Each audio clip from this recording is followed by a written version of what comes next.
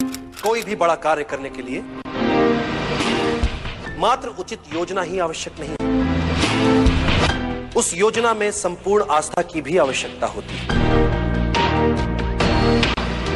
योजना यदि अच्छी है तो उस अभियान को पूरा करने वाले निर्णय भी अच्छे होंगे। इसलिए गुणीजन कह गए